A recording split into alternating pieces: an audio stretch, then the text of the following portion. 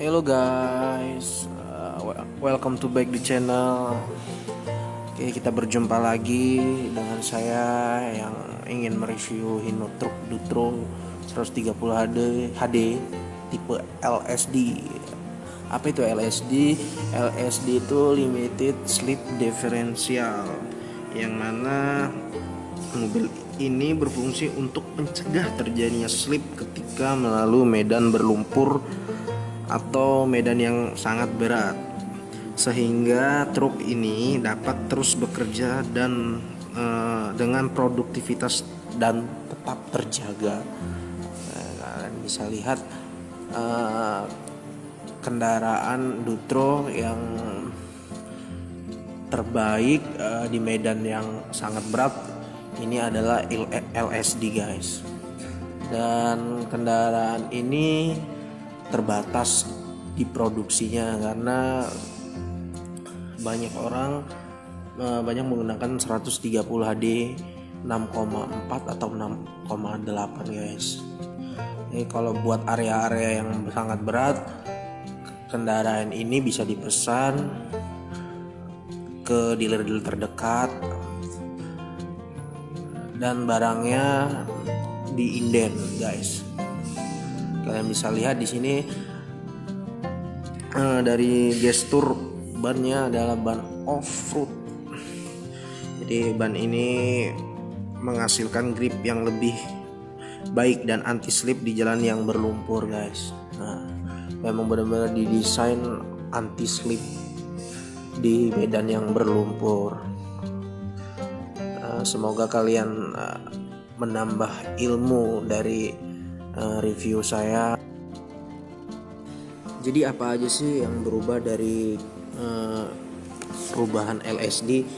Ya tadi jadi uh, perubahan LSD itu pertama dari segi uh, bannya guys, kemudian dari pernya kalian harus tahu dan juga dari namanya limited slip differentialnya atau dari bagian kardan belakang guys.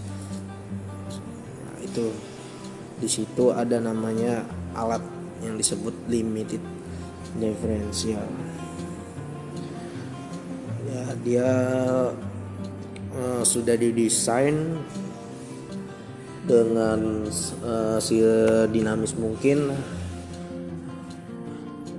agar uh, tidak berlu tidak mengalami slip di medan yang berlumpur jalan tanpa kendala guys. Untuk mesin sih tetap sama dengan mesin yang lainnya hanya membedakan LSD nya saja guys.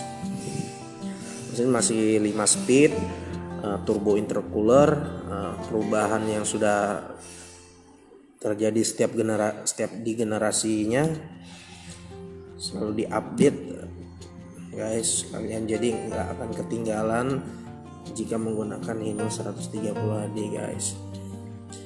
Ya kalian bisa lihat secara mendetail dari transmisinya kemudian dari ya, gardannya juga kalian bisa lihat. Nah, di dalam gardan itu ada nama alatnya LSD nah itu kalian bisa lihat di situ.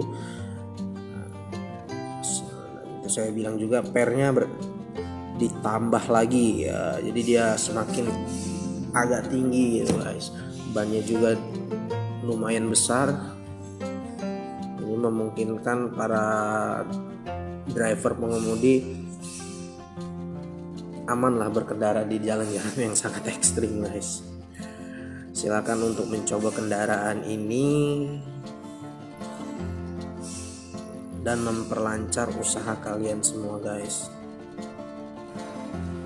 Oke untuk di bagian kabin eh, sama aja dengan 130 HD perubahan ada di bagian panel indikator di red eh, di bagian sebelah kiri kalian lihat ada namanya red zone terus green zone sama LED meter. Itu guys. Radio ada AC juga ada guys. Steer di desain power steering kemudian bisa disesuaikan dengan si pengemudi. Ada gas kopling dan rem. Kalian bisa lihat sama dengan tipe yang ini 130 HD biasa dan kalian juga harus tahu perhatian uh, untuk kendaraan ini sudah di, dirancang bahan bakar B20 dan kalian juga harus memperhatikan setiap bulannya mengganti filter saringan. Ya guys. Itu dia tadi bagian LED meter. Jadi kalian dilihat bisa melihat cara digital lah dengan mudah. Ini dia tadi saya kasih tahu ada giginya 5 speed.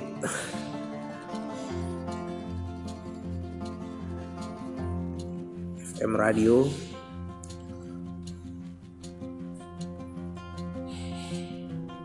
Nah, ini bagian kursinya guys. Sangat luas uh, nyaman buat si driver juga baik untuk supir. Oke guys. Terima kasih. Itu review dari saya. Jangan lupa subscribe like dan